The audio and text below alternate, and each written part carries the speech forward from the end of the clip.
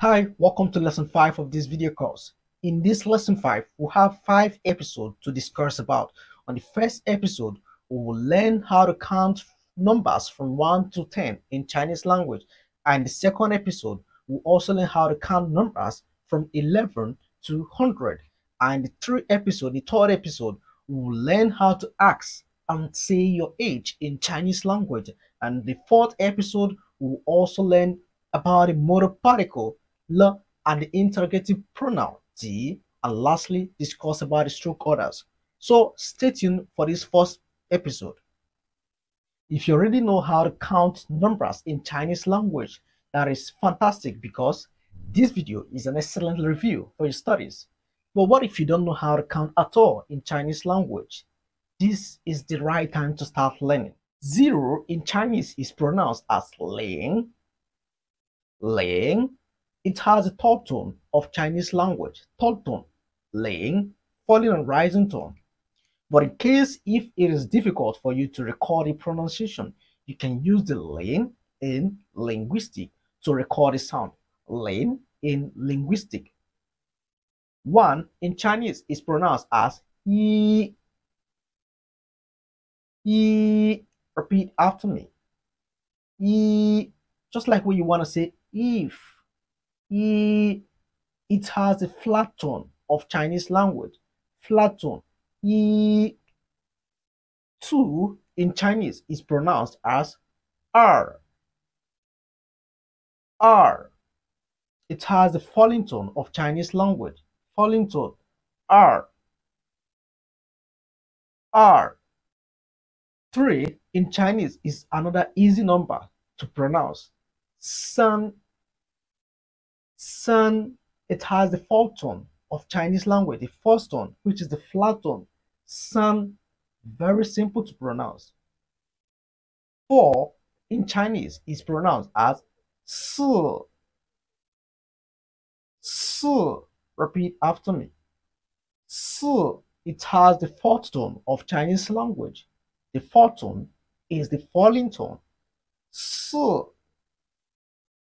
5 in Chinese is pronounced as Wu.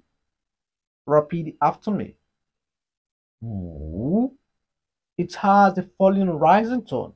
The falling rising tone is the third tone of Chinese language. Wu. Repeat once again. Wu. Beautiful. Now we have learned how to count lane, e, r, san, si, Beautiful. Now let's learn how to count from 6 to 10. 6 in Chinese is another easy word to know. Liu. Repeat after me. Liu. It has the falling tone of Chinese language, which is also the fourth tone. Liu. You can use the English name Leo to record the sound. Leo. People answer as Leo Liu. 6. 7 in Chinese is pronounced as Qi. Repeat once you hear. Qi. It has a flat tone, which is the first tone of Chinese language. T, just like when you want to make the sound T. T. But while pronouncing this seven in Chinese, there must be airflow from your mouth, a very strong airflow. T. 8 in Chinese is another easy number. Ba, repeat after me. Ba, it has the flat tone of Chinese language, the flat tone. Ba, 9 in Chinese is pronounced as jiu. Repeat after me. Jiu. Jiu. It has the tone of Chinese language. Jiu. Jiu. Repeat once again. Jiu. And lastly, shi. Shi meaning what? 10 shi, not pronounced as qi. What we have there is sh sound. Sh with a rising tone. Beautiful. Now let's practice together. Lin, yi, er, san, si, wu, liu, qi, ba, 九、十、十。Now let's read from ten to one. 十、九、八、七、六、五、四、三、二。